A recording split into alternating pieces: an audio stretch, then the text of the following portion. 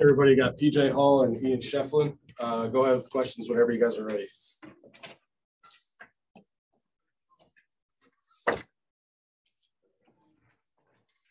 I just even want to know that final play, you know, that kind of how you, or how it was supposed to be executed? I guess what was that feeling like when that shot didn't fall? Yeah, I was um, sorry, forgive me. I kind of lost my voice the last few days. But uh, yeah, we um drew it up to throw it in, get chasing the run at 3.1 o'clock, and he's probably one of the fastest in the ACC. Got up the floor, pitched the and we, we got a pretty good look, and uh, mean, it didn't fall. It hurts. I mean, we had a play where I, I, mean, I committed a dumb foul, um, and also I um, gave up a jumper uh, to Love, so that, that one hurt too. You know, I gotta get up and force him to drive. You know, there were some plays on the stretch where we um, we, we didn't uh, do what we wanted, or we did what we wanted. You know. You said on the foul, what, what, what exactly happened? What they fall on that? What- I have absolutely no idea.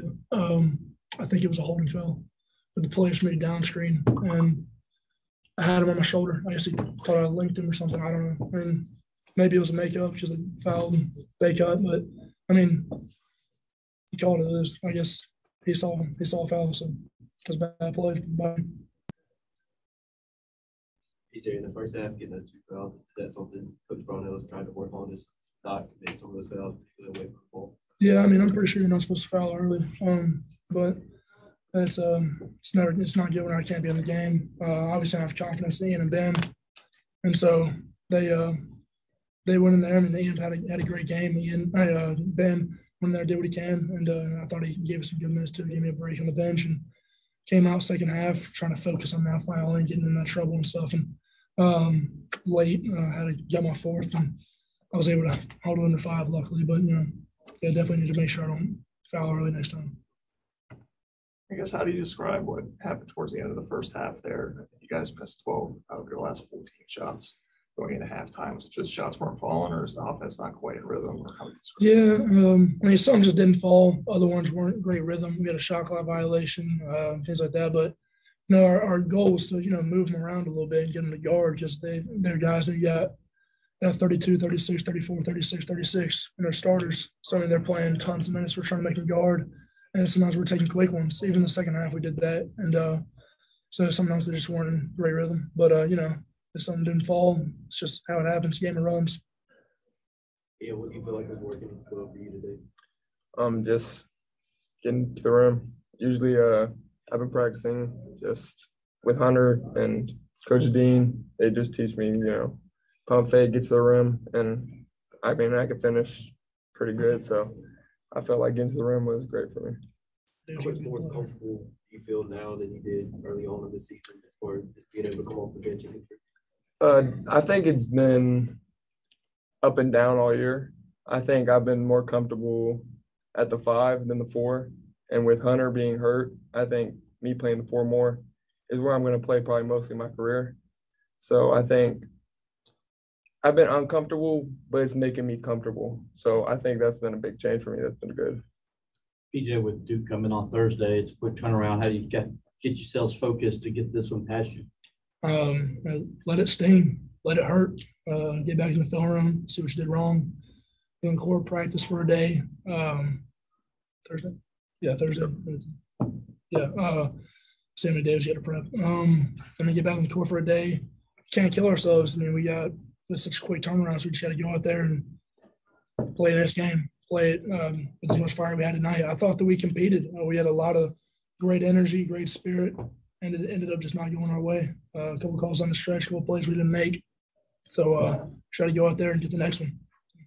Ian, how do you feel about the importance of your role now? It's kind of changed over last week. Yeah, it's uh for us to just my energy's got to be up there because Naz can't play the whole game. So just me being able to make plays defensively, offensively, just boosting our morale, just making us, I mean, just keeping us at a high energy is big for me because that's what Hunt did. He was a leader for the team. I mean, he's still the leader of the team.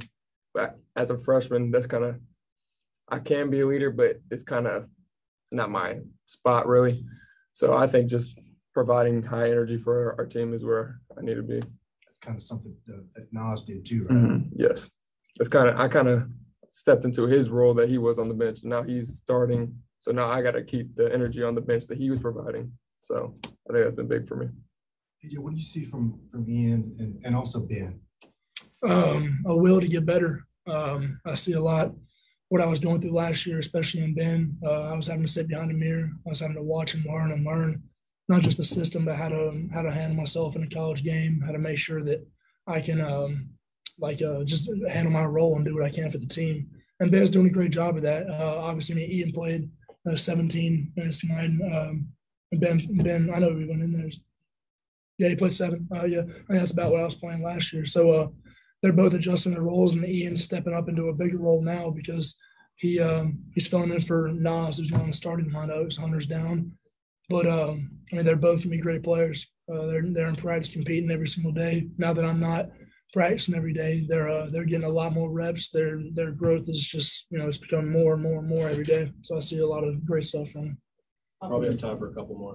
How can this team learn from this game? It was a back and forth game, five minutes to go, four minutes to go, three minutes to go, so that the next time you're in the position, you can finish the, finish the game. a little bit. um, you know, get stops on the stretch.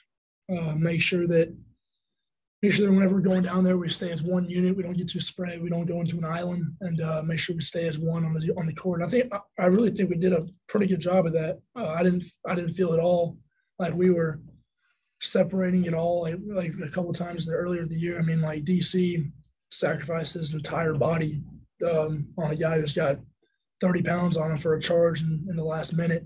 So mean, we were we were we were right there. Uh, there's not really much more you got to change. It's just making one or two more plays down the stretch. Or I mean, also, I mean, down the stretch is important, but I mean, the first half you also got plays where they're getting a few layups. It's never the final plays you lose on. It's always I mean, there's always other plays you can look back on.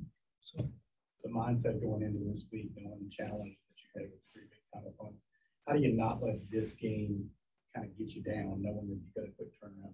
It's one of the best teams in there. uh, it's just the same thing. Um, as I said earlier, you try to get on to the next game, go back in the film room, the drawing board, see what went wrong, see what went right, and uh, get up a good, a good game plan for the next day. And uh, that's really all you can do and go out there and compete your tail off. All right, thanks, guys. Yeah, thank you. Uh, thank y'all.